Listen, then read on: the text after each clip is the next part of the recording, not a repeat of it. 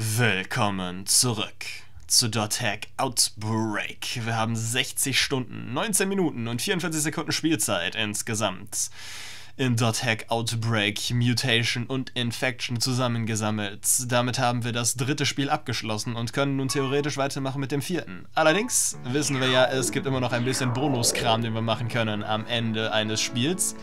Und dementsprechend gibt es noch E-Mails, neue Nachrichten und was nicht alles. Erstmal haben wir irgendwie zigtausend neue Bilder gekriegt am Ende des letzten Spiels. Also würde ich sagen, gucken wir mal, was wir alles gekriegt haben.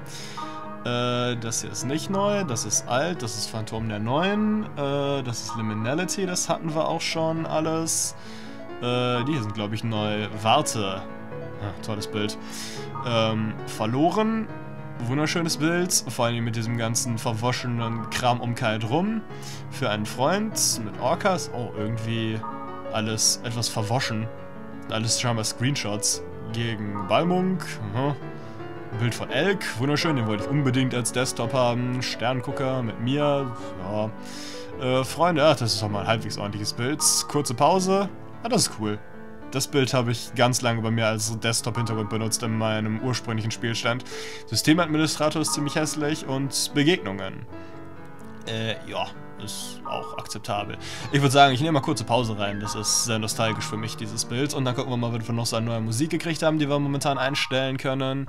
Irgendwas Passendes, irgendwas Entspannteres. Nicht dieses blöde Harald-Theme, das ist irgendwie doof. Das passt nicht gut auf den Desktop. Viele dieser Musikstücke hier passen einfach nicht gut auf den Desktop. Äh, was mit Danlorak? Äh. Äh. Haben den neuen Bonustrack bestimmt irgendwo. Ah, Lambda-Server ist jetzt nicht so geil, vor allem die Bruchmusik davon. Äh, Kubia, erste Form. Hä? Was ist denn Black Rose für eine Musik? Ach, ja, äh, genau. Das ist, glaube ich, die Kombination, die ich am meisten verwendet habe für meinen Desktop. Die werde ich bestimmt drin lassen. Was haben wir denn noch? Phase 4 Fatal. Schon eine Weile her, dass wir den besiegt haben. Aha. Sigma-Serverbruch, den gibt es ja auch gar nicht nochmal. Und Phase 5 Gorey, der hier schon gespoilt wird, wenn man sich die Musik anguckt, bevor man in den Kampf geht. Bonus-Track Cian.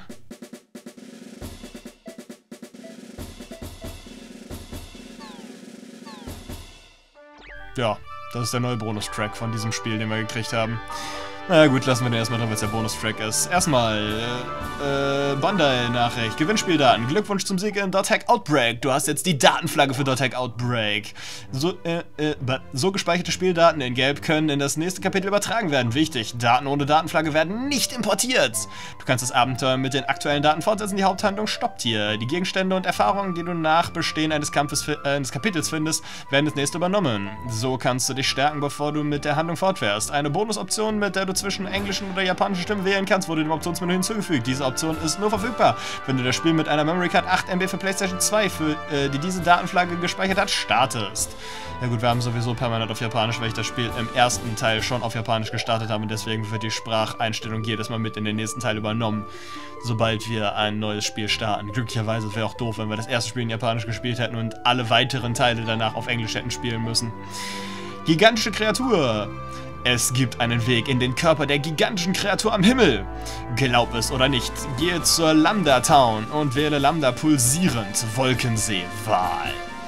Damit können wir in die gigantische Himmelskreatur rein. Das finde ich schön. Das ist wahrscheinlich diese fetten, dieses fette fliegende Augenvieh, das uns schon mal angeglotzt hat. Ich hasse es. Lambda pulsierend Wolkensee Wahl wurde der Wortliste hinzugefügt. Wunderschön.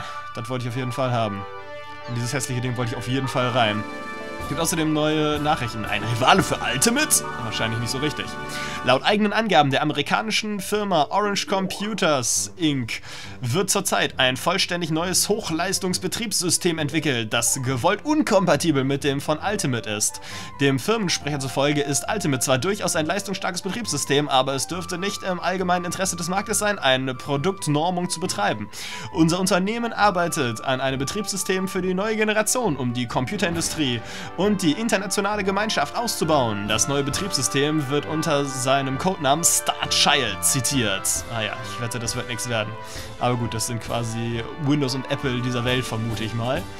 Wobei dieses Startschalt da wahrscheinlich nichts wirklich werden wird. Das ist eher das Ubuntu dieser Welt oder so. Äh, dann gucken wir mal, was wir noch Neues haben. Panther schlägt zurück. Nach einer 15 Spiele umfassenden Gewinnserie seit dem Sieg gegen die Boston Bobcats liegt, liegen die New York Panthers nun seit 5 Spielen auf dem ersten Platz vor den Orlando Marlins. Dies ist eine Premiere in der Geschichte der All-Dome-Ligaspiele mit 220 Spielen pro Saison, das heißt im Durchschnitt 4 Spielen pro Woche. Wow, das hat mich unglaublich interessiert und war völlig relevant für das Spiel. Ich bin froh, dass wir diese Nachricht erhalten haben. Bigfoot, da haben wir auch schon mal was von gehört. Das Tier, dessen Fußabdrücke für die des legendären Bigfoot gehalten worden waren, ist schließlich gefangen worden. Den DNA-Untersuchungen zufolge stammen die Abdrücke tatsächlich von dem gefangenen Tier, bei dem es sich zwar nicht um Bigfoot, aber auf jeden Fall um eine neue Affenspezies handelt. Der Entdecker und die Bewohner der Stadt hoffen, diese neue Spezies offiziell als Bigfoot klassifizieren zu können. Wegen der zahlreichen Legenden um den wahren Bigfoot ist jedoch mit Protesten gegen diese Namensgebung zu rechnen. Vor allem gegen den wahren, in Anführungsstrichen, Bigfoot. Warum sollte man die nicht so nennen? Dann gibt's die halt wenigstens wirklich. Dann hören die Leute wenigstens auf, damit zu nerven.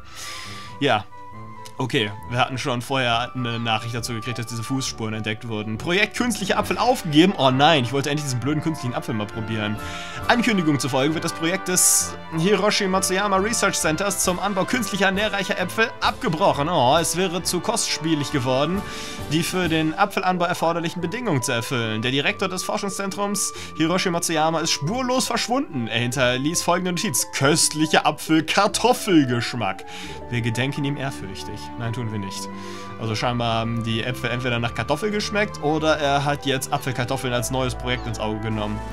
Ich kann mir auch nicht vorstellen, dass man mit hyperteuren Äpfeln so dermaßen viel Umsatz machen kann. Dafür gibt es zu viele Apfelplantagen auf der Welt und zu viele andere leckere Äpfel.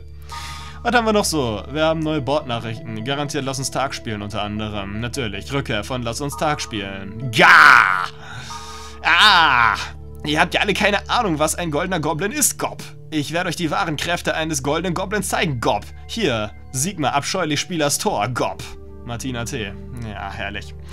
Für die gibt es zum Glück auch einen Trick, um sie zu besiegen. Von daher wird der Goblin-Kampf auch nicht so unglaublich nervtötend werden, wie vergangene Goblin-Kämpfe mal waren. Aber einfach wird's auch wieder nicht. Okay, komm allein. Gob. Ja, kennen wir schon. Gob. Sigma abscheulich Spieler Store wurde der Wortliste hinzugefügt. War alles an Forenbeiträgen oder gibt es noch irgendwas Interessantes? Nö, das war's. Gut. Dann loggen wir uns natürlich wieder ein. Zum guten alten Sigma-Server, Arid City Fort Uff. Wir müssen natürlich unser Inventar jetzt erstmal wieder aufräumen, bevor wir irgendwas anderes machen. Und ich brauche auch wieder spezifische Ausrüstung, um gegen Martina T anzutreten. Das können wir nicht einfach so mit unserem aktuellen Inventar machen. Von daher sehen wir uns gleich wieder, wenn ich das Inventar umgerüstet haben werde. So, da sind wir auch schon wieder. Erstmal haben wir neue E-Mails, aber die können wir später checken, schätze ich. Vor allen Dingen habe ich unser Inventar umgerüstet. Wir gucken in unsere Ausrüstung rein, wir tun erstmal die Ladykillers rein und wir sehen, dass der Damenpanzer wieder dabei ist, genauso wie bei unserem letzten Goblin-Kampf. Und dann machen wir uns auf nach Abscheu des Spielers Tor, Gebiet, in dem der Goldgoblin zum Fang herausgefordert hat. Weiter geht's.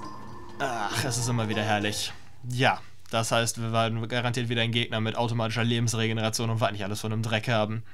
Abscheulich Spielers Tor. Das große Finale gegen die Goldgoblins in diesem Spiel. Lange nicht gesehen.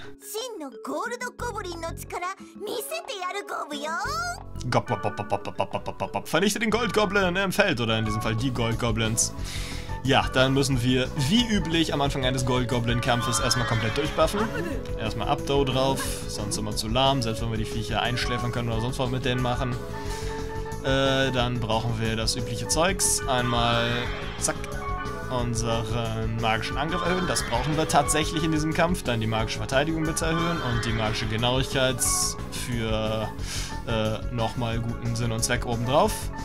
Dann wechseln wir unsere Ausrüstung und zwar äh, brauchen wir unser wo ist es? So, nehmen wir am besten das Rain nehmen wir rein. Das hilft uns am ehesten mit unseren magischen Vorhaben. So, dann habe ich nämlich interessante Items dabei, die wir jetzt brauchen. Für diesen Kampf alleine habe ich ganz viele Bestienbann eingekauft. Damit können wir die magische Toleranz überwinden, die Martina T. hat. So, jetzt ist magische Toleranz rot, das heißt, jetzt funktionieren Zauber auf sie. Und dementsprechend können wir jetzt Muminlay wieder auf sie zaubern, was wir auch genauso schon Okay, hat nicht funktioniert. Genauso schon gegen den letzten Goblin gemacht haben. Komm, funktioniert. Dankeschön. Hat keine hundertprozentige Trefferwahrscheinlichkeit, wie man sieht, aber es funktioniert und wir müssen sie auf jeden Fall eingeschläfert halten, damit sie uns nicht ausweicht. So, und da wir äh, ihre magische Verteidigung gebrochen haben, können wir jetzt unsere Schriftrollen benutzen, die wir mit der Zeit so gefunden haben, die ich noch nicht verkauft habe. Es ist immer gut, sich ein paar von diesen Schriftrollen für diesen Kampf aufgehoben zu haben. Oh, ist wieder nicht eingeschlafen, oder? Muminley, funktionier bitte. Muminley, Muminley, Muminley, Muminley. Die schläft ja schon wieder nicht. Gott, ich habe extra schon die magische Genauigkeit erhöht. Das funktioniert einfach nicht. Dankeschön. Hey, sie schläft. So, und dann können wir die nächste Schriftrolle raushauen. Gegenstände, äh, Moment, äh, ja, Gegenstände, da machen wir mal grüner Ruf drauf. Na, machen wir erstmal Feuer rufen. Zack, Feuer rufen. Bams. Okay, und weiter geht's. Mominley, sie steht wieder. Und wir sehen jetzt schon, ja, plus 400. Die Viecher fangen wieder an zu heilen. Das ist so schrecklich gegen die Viecher hier. Wenn man hier nicht die fetten Zauber hat, um die ersten Goblins auszurotten, hat man echt schlechte Karten, weil die sich einfach zu schnell wieder hochheilen. Äh, außerdem Mominley. Mominley. So, steht wieder. Und dann müssen wir sie jetzt möglichst schnell wieder stoppen. Äh, ich hoffe, sie stirbt. Ansonsten könnten sie sich nochmal hochheilen. Und BAMS! Jawohl. Okay, das war Nummer 1. Sehr gut. Das heißt, die anderen werden jetzt deutlich leichter werden, weil die jetzt nur noch um 400 heilen können, statt um 800. Sehr gut. Beste Mal hat funktioniert. Das funktioniert übrigens auch nicht immer. Da muss man auch mal erstmal ein bisschen probieren. Nummer 2 ist gestoppt und steht fest am Boden gewurzelt. Es geht weiter mit dem nächsten Feuerrufen. Wir haben noch zwei davon. Bams! 588, sehr gut. Und nochmal Mominlay drauf. Muss weiter da vorne stehen bleiben, das Mistviech. So, damit ich ausweichen kann und nix. Nochmal, Feuer rufen. Kaboom! Okay, weitere 588. Äh, dann müssen wir das erstmal wieder aufhalten. Mominlay. Ah, sehr gut. Jetzt funktioniert das wenigstens ordentlich. Oh Mist, der heilt sich gerade selber. Wunderschön. Heilen sich doch um 800, weil er hat es geschafft, während er eingeschlafen ist, noch weiter zu zaubern. Das ist natürlich unglaublich fair. Na gut, wir haben noch weitere Zauber, die wir draufhauen können. Oh, nice. 777 Schaden. Ist übrigens kein Ziel in Reichweite, der fließt zu weit weg. Kommst du mal bitte her? Geht ja wohl nicht aus der Reichweite zu rennen. Mominlay. Ja, noch einen von denen und dann sollte Martina T eigentlich erledigt sein. Also diese Martina T-Instanz hier. Und nochmal. Ach, toll, ist daneben gegangen. Kann natürlich auch passieren. Ist natürlich nervtötend, wenn es passiert, aber kann natürlich auch passieren. So, wieder stoppen, deswegen schläfern wir sie eigentlich ein, damit es nicht daneben geht. Und nochmal äh, Wasserruf. Boom! Was? Ernsthaft? Schon wieder? Also man kann auch Pech haben. Ich mach mal nochmal ein Bestienband drauf. Scheint zwar eigentlich gebrochen zu sein. Ich weiß nicht, warum das jetzt doppelt nicht funktioniert hat, außer Pech. Äh, naja. Muminley.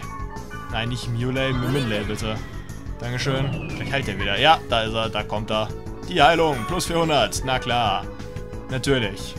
Ansonsten wäre der Kampf ja auch gleich vorbei gewesen. Das wäre ja zu einfach. Komm, hier nochmal. Sehr gut. Der läuft die ganze Zeit in unsere fetten Zauberangriffe rein, der andere Typ. So. Steht wieder jetzt noch ein Zauber drauf, dann sollte es das eigentlich gewesen sein. Und Wasserangriff erledigt. Wunderbar. Bleibt nur noch ein einziger und der kann sich maximal selbst heilen. Das sollte ja nicht mehr das große Problem sein. Erstmal wieder ein Bestienband drauf. Sehr gut. Der Quormat ist gebrochen und dann Muminlay. Gleicher Plan auch für den letzten Teil der Gold Goblin Armee. Äh, Gegenstände. Dann haben wir noch dreimal grüner Ruf für sie. Bams! 777. Und Muminley. Bleib stehen. Renn mir bloß nicht weg, Martina. Okay, und dann falsch Gegenstände, grüner Ruf. Bom, 777. Und noch ein weiteres Mal Muminley. Heilt sich aber, glaube ich, gerade schon wieder. Ich hoffe, es geht nicht durch. Doch, es geht garantiert durch. Müsste aber trotzdem reichen, um das Viech zu erledigen, wenn unser grüner Ruf trifft. Komm schon, machst du Platz. Bam! Oh. Natürlich. Es wäre auch zu einfach gewesen. Ich habe schon extra als Buffer mehr von diesen Beschwörungsitems mitgenommen in den Kampf hier. Und was ist, die reichen immer noch nicht, weil es dreimal daneben geht. Unglaublich. Ja, gut, wir haben auch noch andere Zauber und davon nicht wenige. Die können wir genauso benutzen, um sie zu erledigen. Sind nur ein kleines bisschen schwächer, ist kein riesiger Unterschied. Also machen wir es einfach damit. Oh, Mominley sitzt wieder und wir hauen unseren nächsten Zauber drauf. Wir haben noch mehr Flammenschläge, die wir gesammelt haben. So, und das war's. Besiegt. Wunderschön. Wunder, wunderschön. Kampfmodus aus. 3回目も変わり映えしなくて申し訳ないゴブけど本当にゴブリンにならないゴブか Nicht wirklich. Die sterben immer.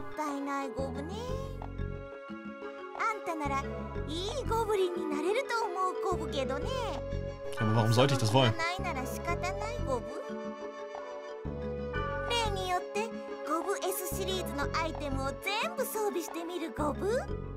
Mhm. そろそろ力尽きる実感 Und tot. Wunderbar. Du hast jetzt das Imp-Kreuz erhalten. Und jetzt können wir die ganzen Goblin-Items mal wieder, genauso wie in den letzten beiden Spielen, auch schon ausrüsten, um dann einen super mega special awesome Zauber zu kriegen, den wir nur dann kriegen, wenn wir alle Goldgoblins besiegt haben und die komplette Goblin-Ausrüstung an Kite ausgerüstet ist. Die müssen wir uns natürlich dafür erstmal aus der Bank rausholen und an ihn ausrüsten und dann können wir die an irgendwelchen Gegnern ausprobieren, die Dinger. Ja, wunderbar, wunderbar. Äh, jetzt loggen wir uns aber erstmal wieder aus, denn wir haben neue E-Mails gekriegt, wie wir gesehen haben, bevor wir in den Kampf gegen die Gold-Goblins gegangen sind. Also schauen wir mal eben, was unsere lieben Kollegen so geschrieben haben. Ich wette, wir wurden wieder voll gespammt wie doofe, weil wir das Spiel durchgespielt haben. Wahrscheinlich wieder E-Mails von absolut allen Charakteren, die wir kennen. Mal gucken. Wir haben, ja, neue E-Mails. Ich muss diese Musik ändern, die nervt mich. Äh, wo ist hier das Black Rose Lied? Nein, nein, nein, nein, nein. Da, Film Black Rose. Wunderbar. Ach, viel angenehmer. So, äh, Mailer. Na, nicht von allen, aber von vielen. Wiseman mit Tauschen. Kite, als dein Freund würde ich ja das Geschäftliche beiseite lassen und dir günstige Gegenstände besorgen, aber als Vorsitzender der Tauschgilde kann ich das leider nicht tun. Habe bitte Verständnis dafür. Du bist Vorsitzender der Tauschgilde? Naja. Pff, sei das. Deswegen denkt er mir, er der Chef. Pyros mit Zwielichtboten. Unser Zusammenspiel hat ungeahnte Höhen erreicht, aber lass uns alle Erwartungen übertreffen und noch härter daran arbeiten. Ja, vielleicht, vielleicht auch nicht. Wahrscheinlich haben uns alle Nachrichten geschrieben, bei denen wir die Freundschaft auf Maximum gekriegt haben oder so. Sanjuro, ich bin ein Amerikaner aus South Dakota. Samurais interessieren mich. Seitdem ich die Filme mit Mifune gesehen habe, wissen wir. Ich gebe den Leuten aus meiner Gegend kostenlosen Japanischunterricht. Da ich die Samurai-Filme immer als Unterrichtsmaterial einsetze, reden meine Schüler wie Krieger, haha. In meiner nächsten Mail schreibe ich so, wie Sanjuro sprechen würde. Nein, bitte tu's nicht. Ich werde es auch nicht lesen, versprochen, Sanjuro. Ja, schrecklich. Ja, also werden diese Schüler niemals ordentliches Japanisch lernen oder sie werden sich immer lächerlich machen, wenn sie nach Japan gehen. Sei stark, stark werden, damit ich. Punkt, Punkt, Punkt. Gardenia, gesprächig, wie immer. Marlo, verrückt.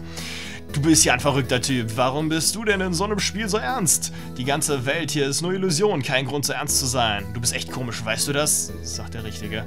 Marlo haben wir auch relativ wenig benutzt gegen Ende hin, wobei, na, so im Mittelteil des Spiels hat er relativ viele Auftritte. Rachel mit Regeln. Kein Vertrauen, kein Geschäft. Du darfst nichts vor mir verbergen, verstanden? Und das war auch schon der gesamte Text. Rachel, du bist wieder informativ. Nuka Segemaru mit Talent. Du scheinst schüchtern zu sein, doch am Ende stehst du im Rampenlicht. Du hast echt Talent, Smiley. Ja, also du wirst niemals im Rampenlicht stehen mit deinen fetten pinken Haaren, du. Ja, wunderschön. Wir gehen wieder zurück in den Server, würde ich sagen. Zack, Login, jawohl. Und dann können wir unsere Goblin-Ausrüstung mal ausrüsten, um sie beim nächsten Mal demonstrieren zu können. Gobu Gob. Machen wir ja grundsätzlich auch, wenn sich da nichts großartig verändert an der Goblin-Beschwörung. Aral City, Fortoof. Okay, wir sehen uns beim nächsten Mal wieder zu Einsätzen von Goblin-Rüstung und dann werden wir uns wohl an den finalen Sidequests dieses Spiels hier machen. Bis dahin, see ya!